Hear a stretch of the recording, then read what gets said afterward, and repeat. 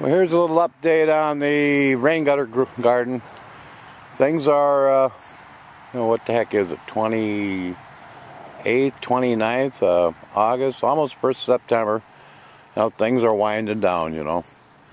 Uh, geez, I picked a ton of green beans. These green beans grown in these little buckets have grown like crazy. I got a ton of cucumbers coming on all these, uh, I planted these from seeds in the little buckets. You can see the buckets are not very big, three plants to a thing, and they're just going nuts. Strawberries, ever-bearing strawberries are blooming like crazy.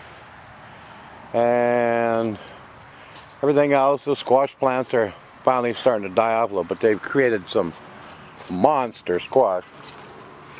You see, nice looking squash on one there. Another one over here.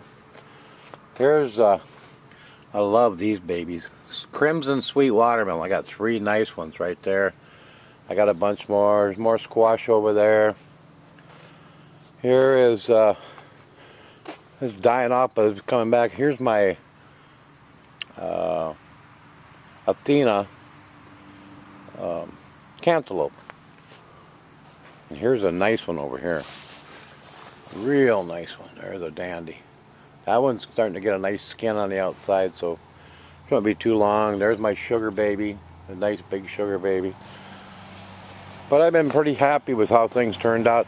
I'm going to do some tips and tricks on different things on this rain gutter grow system here in the next few days. On how I planted, what I did in each pot, you know, how I did it. Some little tricks. Uh, my mixture I use for mixing up stuff and you know help people out. Who want to know some tricks. Uh, my buddy told me Tommy he says uh, don't when you cut your broccoli head off don't cut the plant down. And I can see why.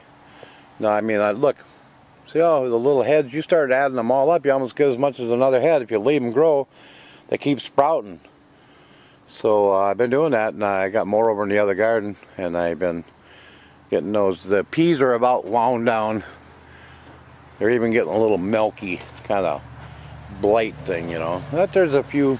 I'm still watering them because there's still some peas left. On. I've got.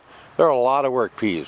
I mean, you got to have a lot of them to get get stuff out of them, you know. Here's another really nice crimson sweet watermelon. And these plants over here, you know, they got that septoria leaf disease, and I'm going to treat it next year.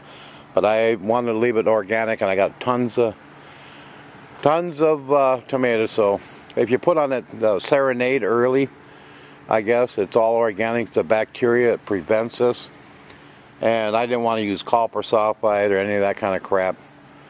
So I wanted to leave it all organic. So I got tons of tomatoes, so I'll leave that uh, cucumber plant. This old cucumber plant has just put out and put out and put out. I have picked more cucumbers, and there's more there. There's one, there's one, there's one. I mean, there's. I've been picking cucumbers off just like crazy. Squash over here is making squash. There's some squash in there.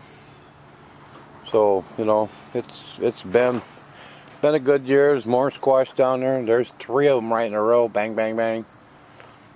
But anyway, yeah, I'm going to do some updates on different containers I use, how I planted them, and all that. So, uh, anyway, this is Larry up in Brainerd, Minnesota. Ciao.